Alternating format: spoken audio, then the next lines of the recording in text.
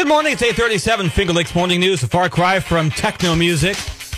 As uh, we welcome in John Katko, who's running for Congress in the 24th District, uh, making his, I think, uh, third appearance on this show. I, I can't really keep track. Uh, but, uh, John, good to see you again. Good to see you, too, and it is indeed my third appearance. It is. That's what I thought. All right, so it's, uh, I guess I still have a few brain cells left. Um, you were a former federal prosecutor. We covered in your first appearance uh, your background at length, and I asked you before we uh, started here this morning if you miss the courtroom. Do you?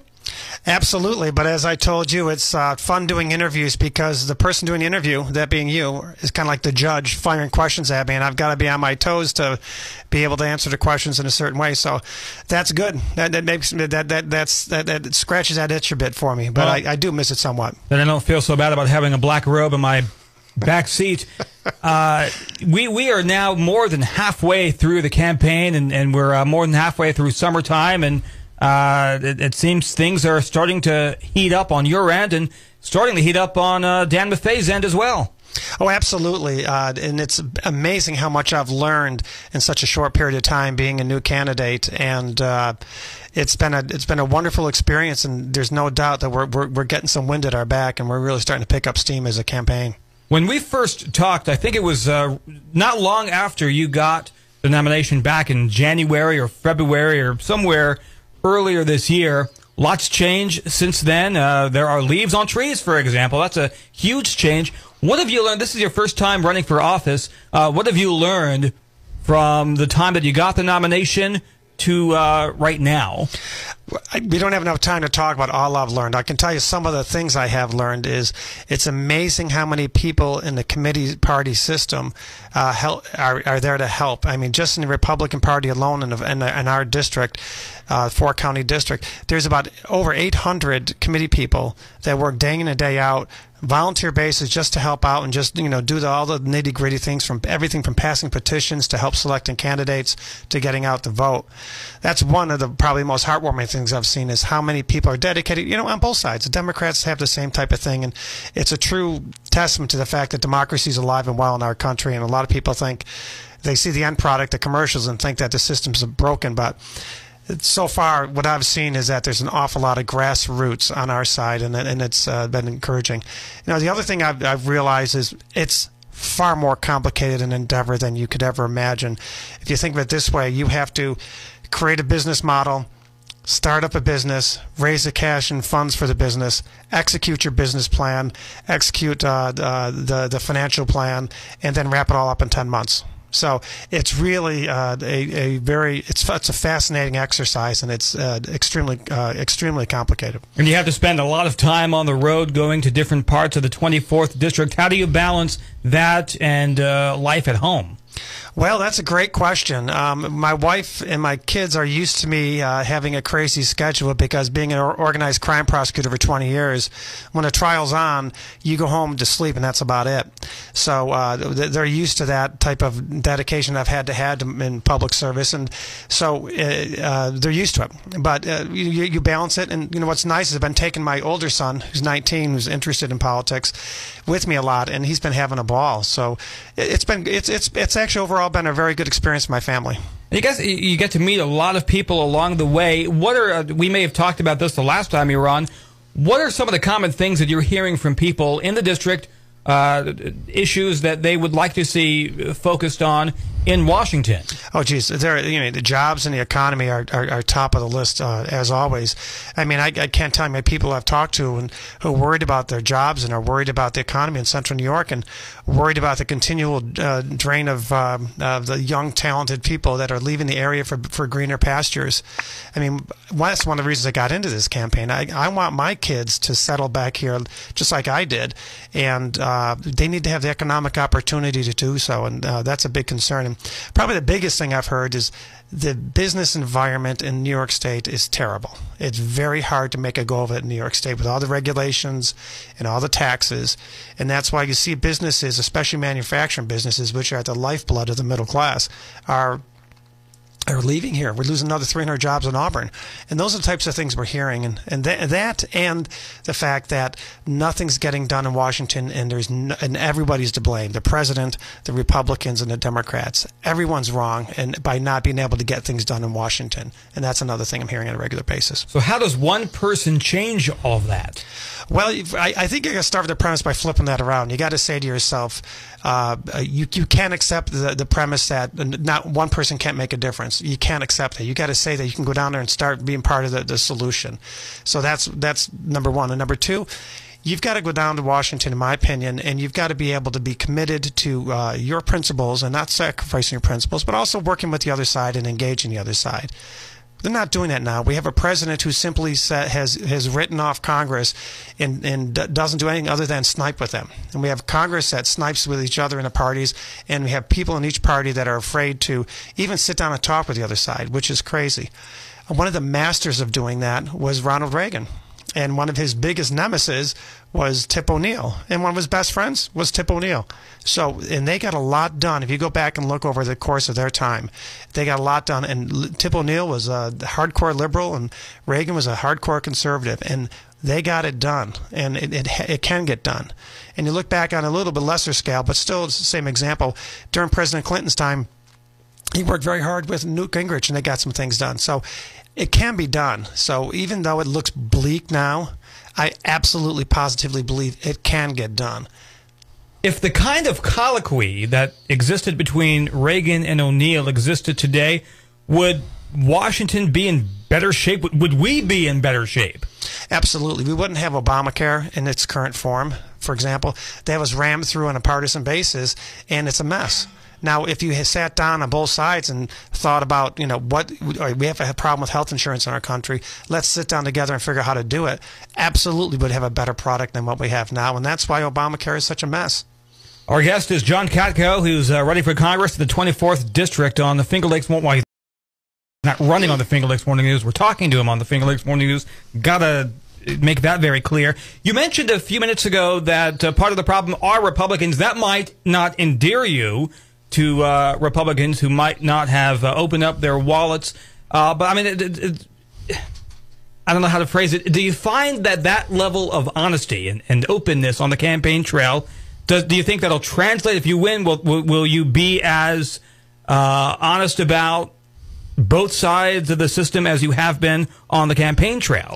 Yes, and uh, you know what? It, it, the people in Washington get it too. Uh, believe it or not, I was just down there last week, and the leadership is saying the same thing. They're saying, "Look, at that is a narrative you have to pursue." They understand it. They understand the perception. Um, I, it's not as one-sided. It is absolutely is not as one-sided. I'll give you an example. I mean, everyone's talking about the House Republicans. Well, the House has sent 321 bills uh, over to the Senate. 321 bills that are sitting there that haven't been acted upon in this term alone. So, and that's a democratically controlled Senate. Nothing's going on over there either. So, it's both sides, and uh, they recognize it too, and they recognize it's got to get better. You know, and uh, so I, I, I, to answer your question. I, I don't know. I, I, I, don't think so. I think people are, are sick and tired of the sniping, and they just want to hear from people that they're gonna they're gonna be pragmatic and go down and get things done. Ronald Reagan always said, "I'll take sixty percent now, and I'll keep working on the other forty percent." I love that, that. That that's a good way to operate. So uh, answers over arguments. Right. Let's uh, let's talk about endorsements. You were recently endorsed by the Veterans Party. I, I was, and I'm very proud of that because um, that's one of the other rewarding aspects of what I've been able to get involved in since I, I got involved in this campaign the veterans uh, uh organization in our district is, is quite substantial. There's about 30,000 veterans. And I've done uh, over a dozen parades, and they're peppered throughout those parades wearing their hats and on the sidelines they're watching. And, you know, going over and shaking their hands and thanking them for the service is probably one of the most uh, inspiring things I've done because oftentimes they get a tear in their eye, and that's that's pretty cool. You know it, it, that you can touch somebody in that way just by thanking them. And it made me realize that these veterans are uh, are not always treated as well as they should be. And so I've been working very hard with them. I came out with a five point plan for veterans and ensuring that veterans are on my staff now, and they will be if I when if and when I get elected, and they will be handling they'll be responsible for hand, handling the veterans issues. So they will never get swept under the rug. What's the plan? Well, the plan is to have them on the staff with me. The plan is to have them on, the, you know, any constituent calls regarding veterans are going to go to these individuals. These individuals are going to have some specialties and know how to deal with them. And they're going to have a little more skin in the game because they're a veteran themselves. So we're going to have that. We're going to make sure that if any disability claims of veterans go longer than they should, that we're going to intervene for them and, and have a system set up to do that. So it's not going to, it, it won't get, uh, they won't get backlogged. We're going to advocate for many programs for veterans, including what just got passed, which I'm very proud of, is the um, the veterans uh, bill. And in that bill included.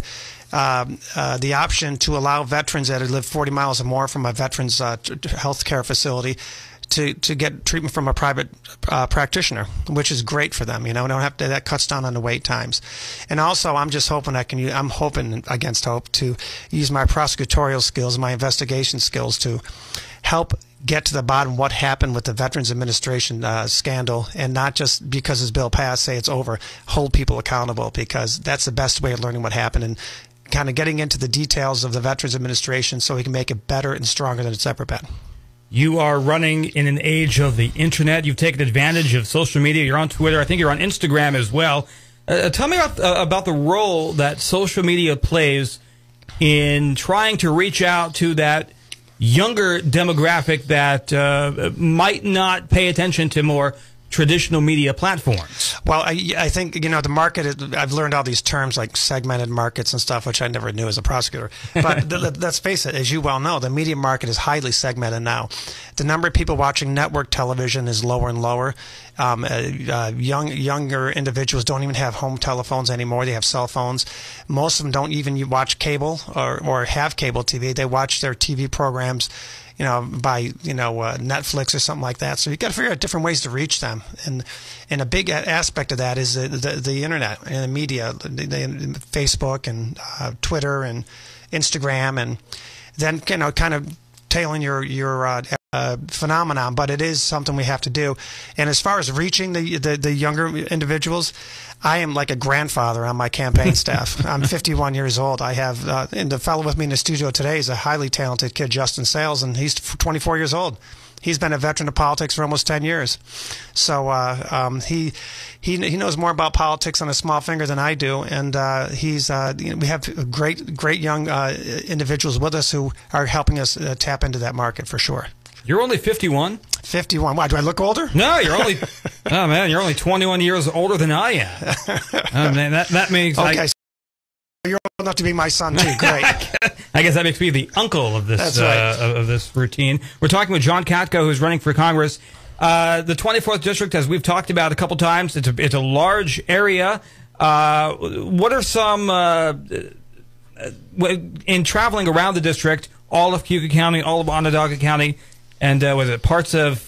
It's all of Wayne and parts of Oswego. Is Correct. that right? The western half of Oswego, including the city of Oswego. So we're talking about a lot of rural areas, a lot of rural parts of New York where agriculture is, is big. What are some of the things you're hearing about agriculture?